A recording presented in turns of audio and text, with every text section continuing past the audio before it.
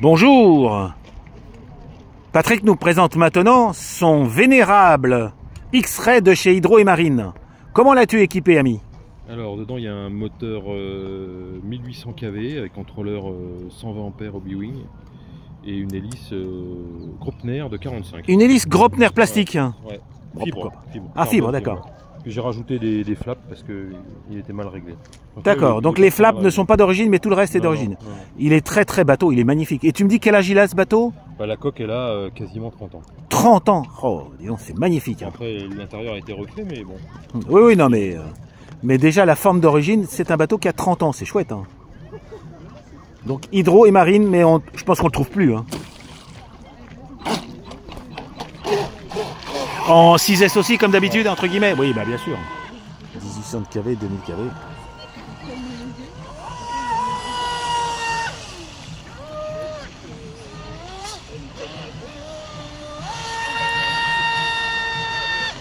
Ça chante, c'est joli. Hein.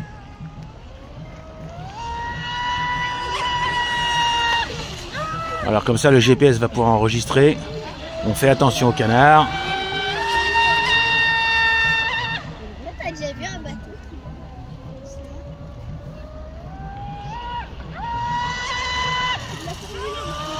Est-ce que cette conception de coque fait qu'il est auto-retournant si jamais il se retourne Non C'est-à-dire si t'es à l'envers, t'es à l'envers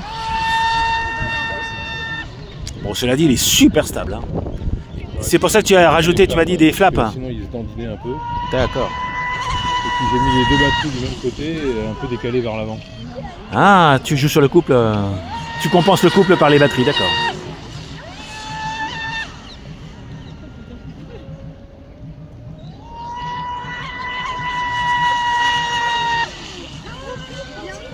Tu peux passer devant nous gentiment, juste tranquillement, parce que vraiment il est très très beau quand même. hein. Enfin, tes deux bateaux sont très beaux d'ailleurs.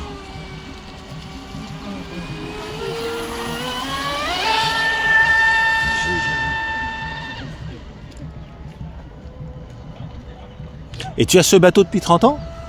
Euh, ouais, quasiment, ouais. Donc tu as changé le moteur, j'imagine, parce qu'à Oui, l'époque, oui, oui, avant, le brushless n'existait pas. Donc.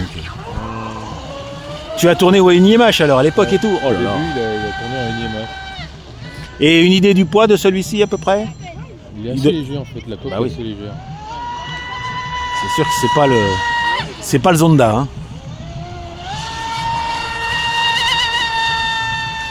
En tout cas, il est super propre. hein. Bon, c'est vrai que tu as personne qui te fait un clapot. euh, mais. euh. Bah écoute, superbe Patrick, merci. Je serais ravi de partager avec les amateurs de offshore. Au revoir les amis.